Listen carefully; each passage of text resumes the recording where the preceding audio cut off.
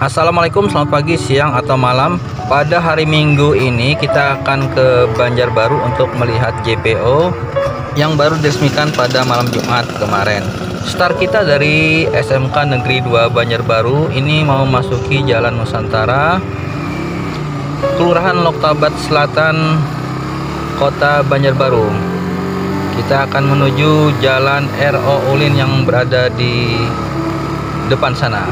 Penasaran juga untuk menaiki bagaimana sih JPO itu? Karena pada malam Kamis kemarin ada ke sana. Akan tetapi masih ditutup di pagar sehingga kita tidak bisa naik ke atas JPO dan ditutup karena belum diresmikan.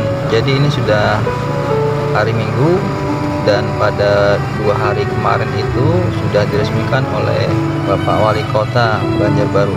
Oke ini kita akan memasuki jalan RO Ulin di depan itu jalan RO Ulin kalau ke kanan itu arah ke Pasar Bauntung dan bisa juga ke Masjid Agung Banjarbaru.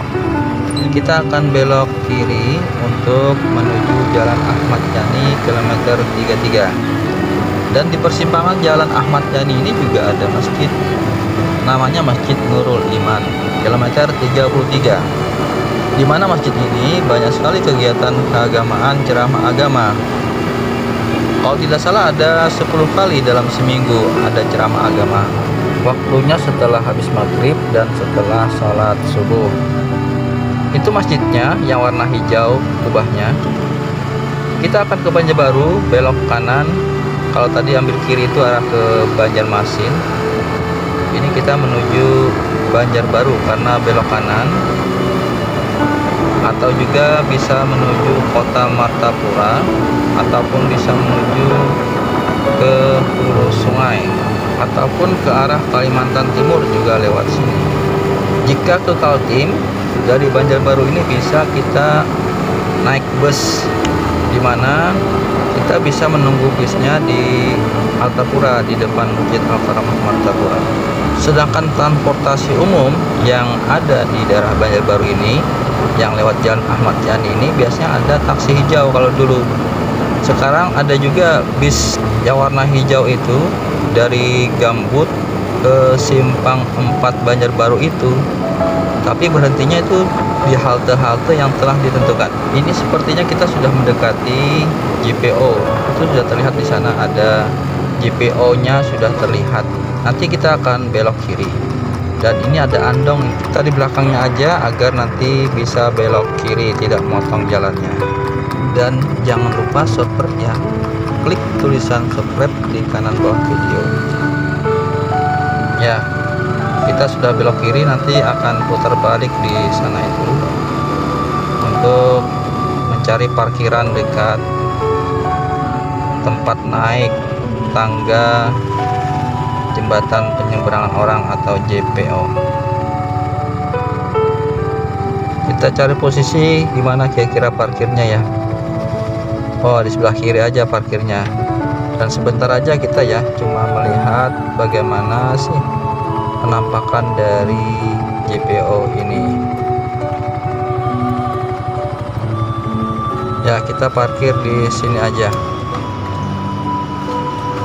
Kita netralkan dulu kendaraannya giginya maksudnya dan tidak lupa untuk mengunci kendaraan kunci stang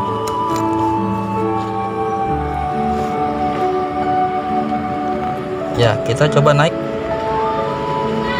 tangga JPO ini. Tangganya terbuat dari plat besi ya yang agak kasar sehingga tidak licin orang berpijak. Dan di tengah ini ada jalan yang datar. Sambil pegangan jangan lupa kalau naik tangga.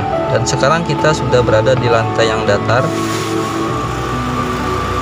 dan juga di atas JPO nya seperti ini ya ternyata JPO nya bagus. Berbentuk heksagonal.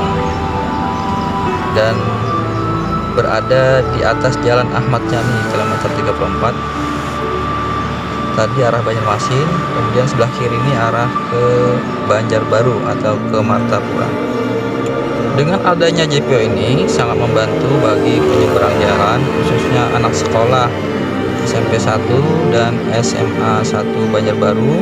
Yang biasanya pagi itu banyak nyebrang dari sebelah kiri ini ke menyeberang ke sebelah kanan. Dari jalan Putih Junubui menyeberang ke jalan Pangeran Suryanata oke kita balik aja karena sudah melihat bagaimana sih kondisi JPO agar tidak penasaran terima kasih telah menonton. Semoga ada manfaatnya. Assalamualaikum warahmatullahi wabarakatuh. Jangan lupa subscribe ya bagi yang belum subscribe. Dengan cara klik tulisan subscribe dan nyalakan loncengnya. Terima kasih